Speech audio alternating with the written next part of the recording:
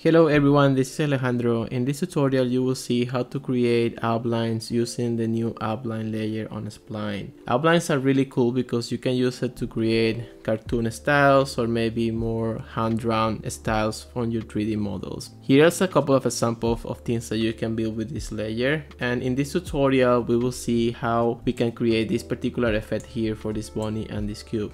Alright, let's begin. Alright, so I have a very simple scene here with this bunny and a cube and I also created a material which is a very simple material with a lighting with 35% opacity and a gray color. So I'm just going to add the new layer which is the outline layer. So let me just create a new layer here and then I'm going to switch to the outline and boom, already have an outline and you can see that when we rotate uh, is kind of like displaying across the silhouette of the objects which is really nice. So let's see what parameters we have here. So if you click here on the outline layer icon uh, there are some parameters that we can control like the color for example which so we can change the color of the outline. We can also change the width. Let's go back to black.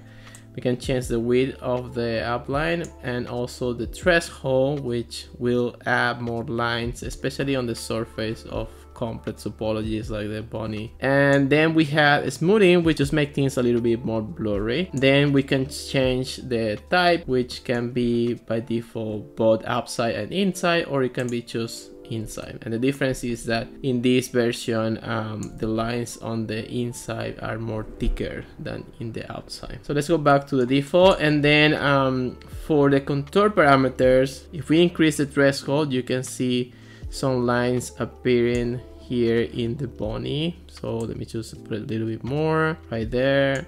And then if we increase the frequency you can see more of it. So you can create hand-drawn effects for example. You can also change the direction and and finally you can also change the projection type to be maybe something like a topological effect. And we can change the width here and you can see how it looks like now let's go back to the contour version let's increase the width and also let's make it maybe like a little bigger actually something like that looks interesting I think that should work Another thing that you can do is that you can uh, create a new outline layer here, for example, and maybe this new outline layer has a different color. So for example, this could be a gray color and it could also have like a different threshold. So we have something like this. You can create very interesting effects like this one here, for example, in which we have two different outlines for the same uh, kind of like objects, right? Yeah, another thing that you can do is that you can change the uh, opacity in here, for example, and also the blending mode. So this could help you to achieve different results. Like maybe for example here, this is gonna be overlay. So it's gonna be a little different. Alright, that's how you can use the outline layer to create these new interesting outline effects on a Spline. In the next tutorial, we will see how to use the new toon layer in combination with the outline layer to build some more interesting stylized effects on your 3D scenes. Alright, see you in the next one. Bye bye.